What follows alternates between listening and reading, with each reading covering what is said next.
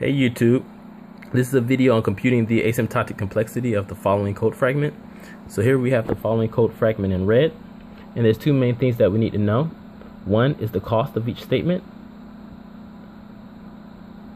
and the amount of times that each of these statements are ran. So first we have this uh, i equals 1. There we go.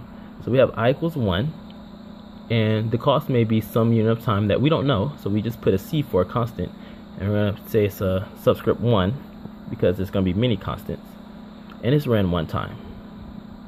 And same here sum equals 0 uh, it has a cost that we don't know. We'll call it c subscript 2 because it may be different from the first one and it runs one time.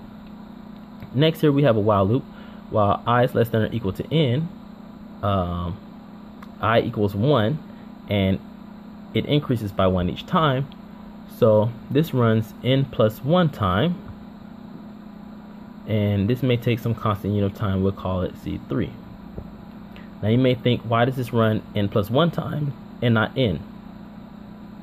Well, the check itself has to check the very last um, number to know when to execute. So for example, if n equal 3, then this will run from uh, i equals 1. So we said it's 1 less than or equal to 3. We'll say yes. Go through the while loop. i increases. It becomes 2. Is 2 less than or equal to 3? Yes. Go through the while loop. And now i equals 3. Is 3 less than or equal to 3? Yes. Go through the while loop. So it needs to know when to stop. And on this last one here, i becomes 4. Is i less than or equal to 3? No. It stops. So you can see that although n equals 3, it's executed 1, 2, 3 four times. So that's n plus 1 time. Okay, next we have the statement j equals 1, and it's ran within the loop here. The loop itself only runs n times, so it takes some constant amount of time, 4, and it's ran only n times because it's within the loop.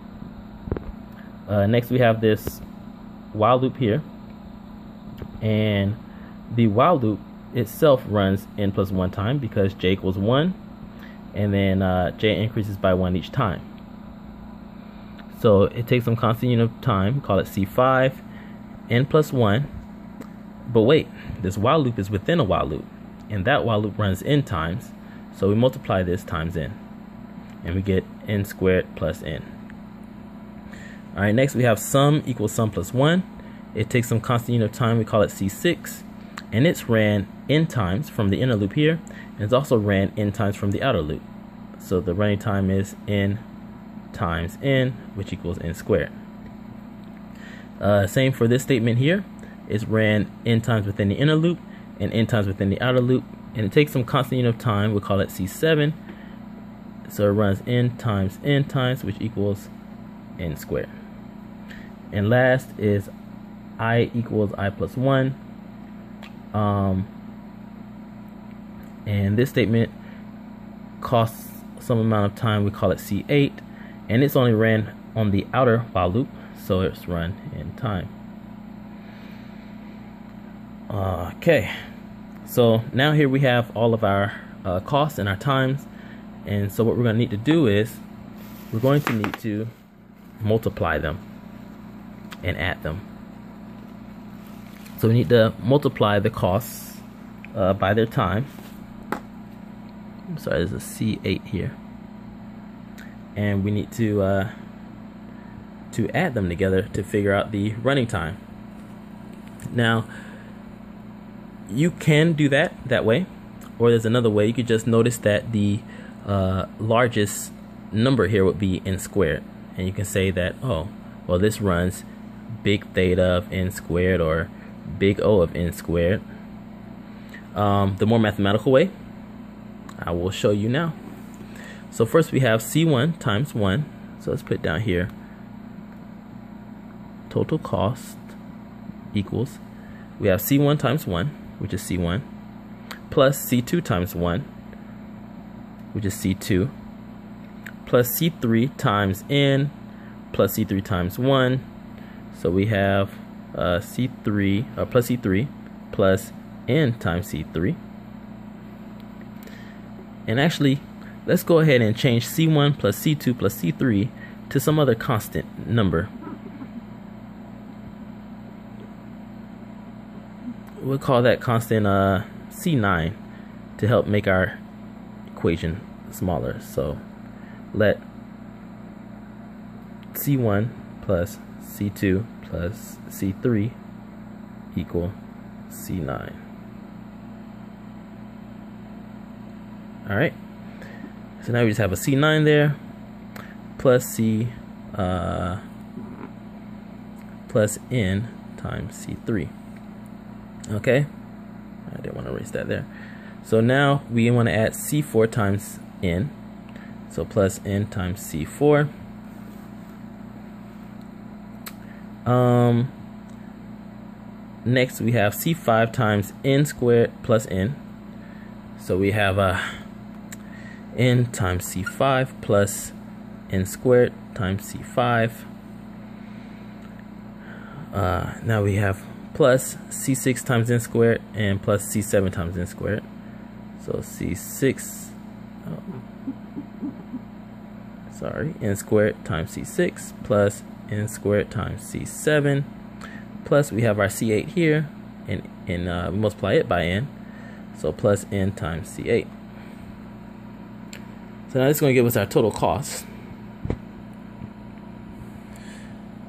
Uh, let's go ahead and group some of these. Let's group this n times c8 with this uh, with all these variables here that are being multiplied by n as well. So plus n times c8. And now we can rewrite this equation again if we let um, c3 plus c4 plus c5 plus c8 equal we'll call it C10. All right. So we're gonna let all that equal C10. So that's n times C3, n times C4, n times C5, and uh, n times C8. Let's go ahead and move this down one here because we're just grouping. Uh, plus n squared times C, I believe that was 5. Okay, and we can move this over n times C8. So you can just see I'm just grouping um, the variables together. So now we can rewrite this though. We have C9 plus N times C subscript 10. All right, and then we still have our rest of the stuff down here. So we just got rid of all this here that we need to add. And we can just say that's n squared times some other constant, because if we let uh, C6 plus C7 plus C5 equal some other constant, we'll call it C11. So let this equal C11. Then we get n squared times C11. And so now our total cost equals some constant C9 plus N times some constant C10 plus uh, N squared times some constant we call C11.